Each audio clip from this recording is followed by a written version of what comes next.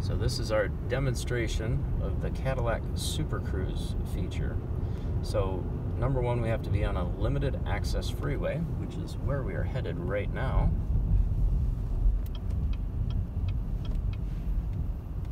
And a couple of things on this. Number one, we have to have the forward braking engaged, which is going to come from the factory that way. So you shouldn't have to worry about that. Like I just talked about, you have to be on a limited access freeway. We're not sure what a limited access freeway is, we any freeway that doesn't have crosswalks for pedestrians, doesn't have stop signs, doesn't have stop lights, always has a median in between, and usually either the um, concrete borders or you're going to see that steel fencing that goes up on the side. The other thing I need to do is make sure that I have my adaptive cruise control on. It doesn't have to be set, it just has to be on and available.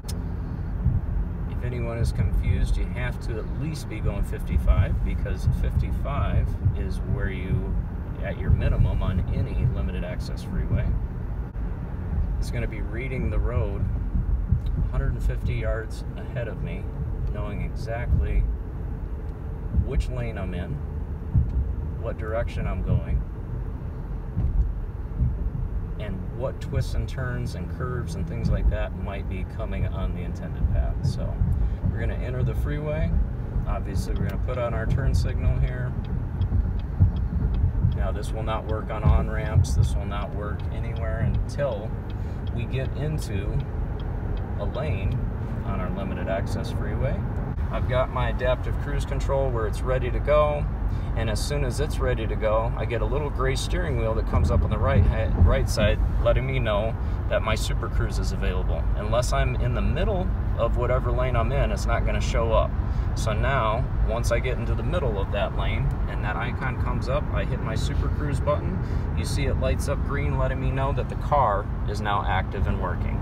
As long as my attention is straight ahead and my eyes are straight ahead and my head is forward, this car is going to do the adaptive braking. It's going to keep the gap control just like adaptive cruise, but with the Super Cruise, it's keeping me on what the engineers call a blue line. It's keeping me right in the middle of the lane that I'm intended to be in. Now, if I do take my eyes off the road, if I start glancing out this way, and I take too long with my eyes shifted to the left, or not keeping my attention, you see the flashing green. As soon as my eyes are forward again, that will recognize that my eyes are forward and that I'm in doing exactly what I'm supposed to do for Super Cruise to work. Because remember, even though the car is working here, I'm still supervising the whole time. Since we're going and I want to merge into this lane, I'm going to put my turn signal on. I'm going to grab control. You'll see the light turn blue, letting me know that I'm in control. I turn my turn signal off. I'm in my lane. I'm in the middle. It lights up green, and I'm back to super cruising if something happened, if something was in the lane and I need to take control, I can do that at any point in time. Now you see there, Super Cruise disengaging, I have to take control. This road, you can see where the lane is ending, and we have to get over into this lane. And I guarantee once we are, and we get into the middle, that Super Cruise icon will come back up again.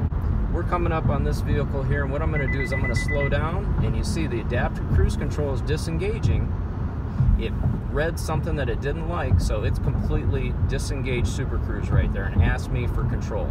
So I'm putting my hands back on, I see Super Cruise icon is back up, and we're back to Super Cruising again. If we come up in traffic, if we come up to sections of the road where there's been construction, Super Cruise can't pick that up. It's going off a database that's updated quarterly. Every four months, that signal will get sent out to the car, it will update, and now those roadways will be complete and it won't have the interaction like what we just saw there. If I kept my eyes off the road longer than the five seconds, it would turn to the red, a flashing red LED, and then at that point, if I still haven't put my attention on the road, it's going to disengage Super Cruise, and it's going to actually start calling OnStar, putting on the flashers, and eventually bringing the vehicle all the way to a complete stop. It's all about safety. This is a safety feature. Um, the Cadillac, I, people say it's a convenience feature, but to me it's a safety, convenience, and technology feature all in one. This is the future. This is just a nice little demonstration on Super Cruise.